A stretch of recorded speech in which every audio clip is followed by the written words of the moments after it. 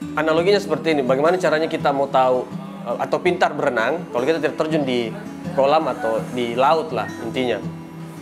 Saya harus terjun, mau dia gagal, mau dia apa, itu itu hanyalah bagian dari pengalaman menurut saya.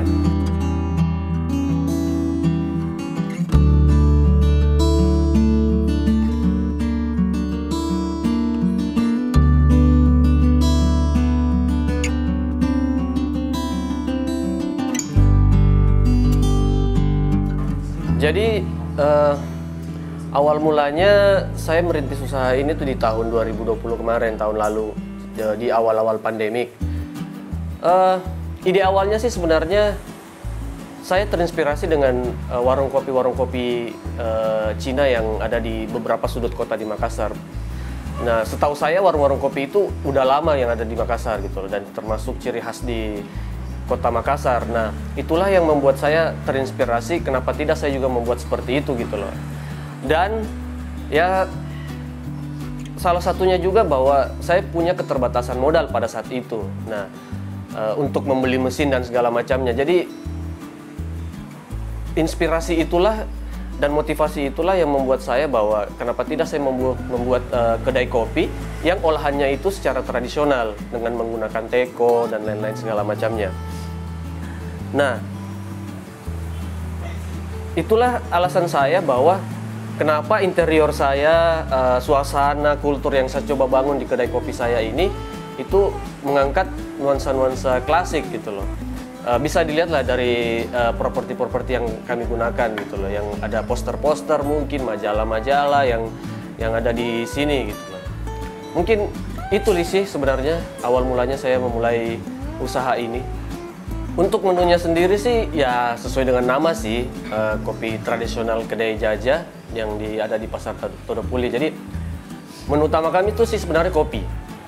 Kopi yang ya berasal dari beberapa daerah yang ada di Sulawesi Selatan. Ya saya tidak bisa menyebutkan semuanya dan saya juga tidak bisa me, apa, mengatakan kalau saya ahli dalam kopi. Tapi yang kami sediakan adalah kopi-kopi tradisional yang ada di beberapa uh, daerah yang ada di Sulawesi Selatan. Nah, kembali lagi kenapa saya memilih cara tradisional yaitu tadi bahwa pertama itu tadi saya kemarin waktu pertama kali buka saya punya keterbatasan modal pada saat itu dan saya pengen mengangkat bahwa cara-cara tradisional ini uh, sudah mulai uh, kurang saya lihat di Kota Makassar bahwa padahal sebenarnya bahwa cara olahan-olahan uh, uh, olahan-olahan kopi tradisional ini sebenarnya itu salah satu ciri khas kita di Kota Makassar gitu loh. Lihat saja di warkop-warkop yang ada di sudut-sudut Kota Makassar yang ada di pasar misalkan seperti itu. Untuk pengolahannya sendiri ya seperti memasak kopinya sendiri itu uh, biasanya saya sendiri juga sih, cuman uh, tidak mungkin juga misalnya saya sendiri yang untuk mengolahnya itu. Nah, kebetulan saya punya rekan juga. Nah, lihat bisa dilihat sendiri namanya Dwi, cakep lagi. Nah, kami tuh e, meramunya punya ramuan sendiri sih dan itu tidak bisa kami juga cerita. Bukan bukan berarti kami merahasiakannya tapi masing-masing kedai kopi itu kan pasti memiliki racikannya masing-masing dan rasanya itu e, untuk customer punya tesnya sendiri lah bahwa kalau di, kami kalau teman-teman uh, atau pelanggan-pelanggan kedai atau sahabat kedai itu suka ya alhamdulillah gitu loh. Kami punya racikannya sendiri. Gimana ya? Kebetulan usaha yang saya bangun ini itu betul-betul saya berhemat. Nah, karena pada saat saya membuka usaha ini, memulai dan memulai usaha ini itu memang pas di era pandemik. Nah, jadi sebisa mungkin saya harus kreatif untuk uh, bagaimana cara saya meminimalisir modal yang saya keluarkan. Nah, cara untuk meminimalisir uh, modal uh, modal usaha saya yaitu adalah menggunakan swadaya-swadaya yaitu uh, seperti misalkan uh, meja atau apa itu segala macam berasal dari bekas-bekas gitu loh, barang-barang bekas. Nah, jadi untuk hitungan modal sendiri paling yang saya keluarkan adalah untuk biaya uh, sewa tempat karena kebetulan tempat ini saya sewa. Untuk selebihnya properti dan segala macamnya itu uh, 80% sampai 90% itu semuanya adalah uh, berasal dari barang-barang bekas dan uh, begitupun dengan properti-properti yang saya gunakan. Properti yang saya gunakan itu kalau bisa saya membuatnya sendiri. Jadi seperti misalkan rak, saya tidak perlu membelinya, saya harus saya harus kreatif untuk membuatnya sendiri. Memang sih kami sering uh, artinya kami aktif juga di sosial media untuk share bagaimana proses pembuatannya, pembuatan menu-menu kami ke kopi-kopi tradisional kami. Tapi kami tidak khawatir sih, maksudnya sekali lagi saya katakan bahwa di kedai Jaja ini selain daripada menu yang kita uh, bagi uh, ada kultur dan komunitas yang kami bangun gitu loh. Ada keakraban dan uh, apa saling share pengetahuan mungkin di, di tempat ini. Nah hal itu juga menjadi dominan di dalam uh, kedai kami daerah tempat saya ini, tempat kedai-kedai kami ini itu kan di tengah pasar. Nah, kebetulan dia berada di rendah di dataran rendah gitu loh. Nah, kalau musim penghujan, nah itu kami kebanjiran.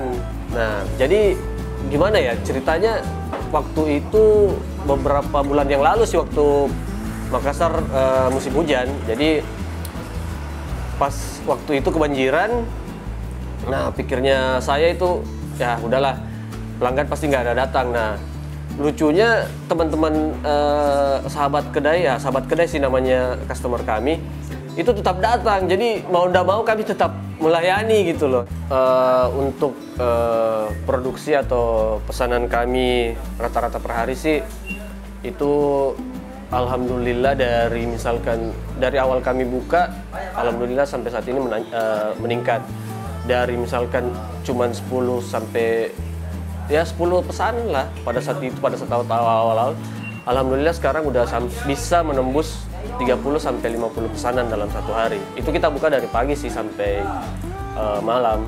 Memang sih belum belum terlalu signifikan tapi alhamdulillahnya uh, pesanan pesanan untuk di kedai kami meningkat lah dalam satu tahun ini. Seperti itu. Semasa pandemi kemarin uh, waktu awal-awal waktu awal-awal kami buka memang kan uh, pas di awal-awal pandemik juga. Kalau ditanyakan bahwa apakah berpengaruh pada jumlah jelas lah orang pada saat itu di rumah semua. Cuman kan gimana dan itu menjadi sebuah eh, tantangan bagi saya sebenarnya di era pandemik dan memulai usaha bagaimana membangun sebuah brand pada uh, uh, di awal-awal pandemik pada saat itu. Sedangkan brand-brand besar kan sudah ada gitu loh di Makassar. Uh,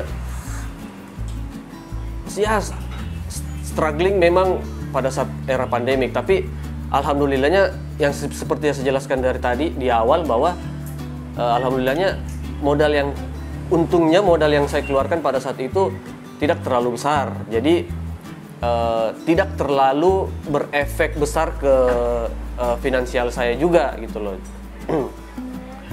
Jadi uh, tantangannya bahwa kalau misalkan uh, uh, di era pandemik ini uh, pesanan berkurang, paling tidak saya uh, membangun brandnya atau meningkatkan brand awareness gitu loh. Jadi biarkan pesanan kurang, tapi bagaimana cara saya meningkatkan uh, uh, brand saya gitu loh. Semakin dikenal maksudnya. Jadi ketika era pandemik sudah mulai turun brand saya sudah mulai dikenal seperti itu. Saya saya saya berharap sekali bahwa ini bisa saya pertahankan untuk ke depannya untuk untuk untuk selamanya uh, menjadi menjadi menjadi brand yang identik uh, di kota Makassar mampu bersaing lah intinya. Artinya bukan sesuatu yang gampang untuk eh, bersaing dengan brand-brand besar yang ada di Kota Makassar. Tapi itu juga menjadi tujuan saya atau harapan saya bahwa brand saya ini kedai jaja ini mampu dikenal di luar dan di di, seluruh Indonesia lah paling tidak bahwa ada ada ada loh tempat ngopi di kota di kota Makassar yang di tengah-tengah pasar gitu loh dan nuansanya nuansa eh, klasik kita harus berani sebenarnya mulai usaha dalam artian analoginya seperti ini. Bagaimana caranya kita mau tahu eh, atau pintar berenang kalau kita tidak terjun di kolam atau di laut lah intinya. Saya saya pun seperti itu. Saya betul-betul uh, pertama kali untuk memulai usaha itu betul-betul awam dengan dengan dengan dunia usaha seperti dunia usaha. Uh, tapi motivasi saya adalah saya harus terjun, saya harus memulai.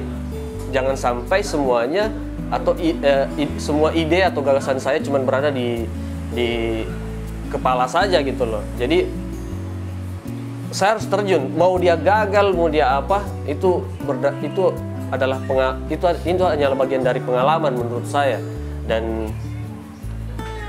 itu sih tips yang yang yang yang atau motivasi yang saya bisa berikan bahwa ya harus terjun lah untuk merasakan kegagalan juga harus dirasakan lah intinya bahwa kita harus merasakan gagal untuk mungkin bisa uh, sukses lah.